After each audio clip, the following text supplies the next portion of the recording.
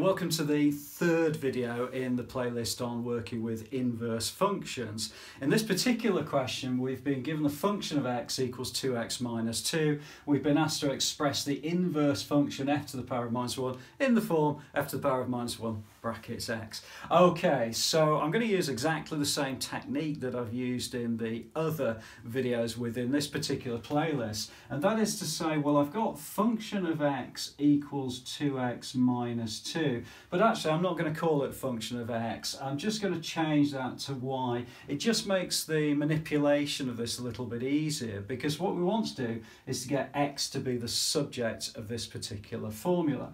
Okay so if I do that I'm going to add 2 to both sides. That gives me y plus 2 equals 2x and then in order to get x on its own I'm going to divide through by 2 and that's going to give me y plus 2 over 2 equals x. Okay, if you're not sure about how to manipulate formulas like that, then I will put a link through on this particular video to go through to the playlist and you can have a look at changing the subject of a formula. Okay, so the uh, in order to answer the question, the final part of the method is to change this y to back to x again and change this x to f minus 1 brackets x and that will actually answer this question. So if I just write this out for you, that's going to give you f to the power of minus 1 x equals x plus 2 over 2 and that will be the answer to this question. So that's the technique to use for that.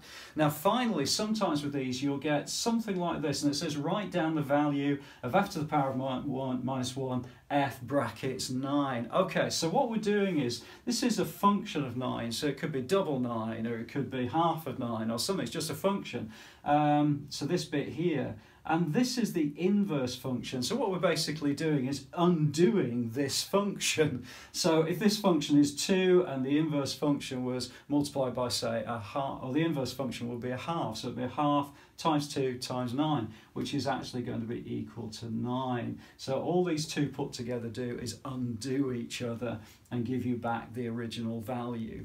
Okay, I hope that's been okay for you. Please do have a look at some of the other videos within this particular playlist. Please do add a comment below. I'll always come back to you. Subscribe to the site and I'll look forward to seeing you inside the next video.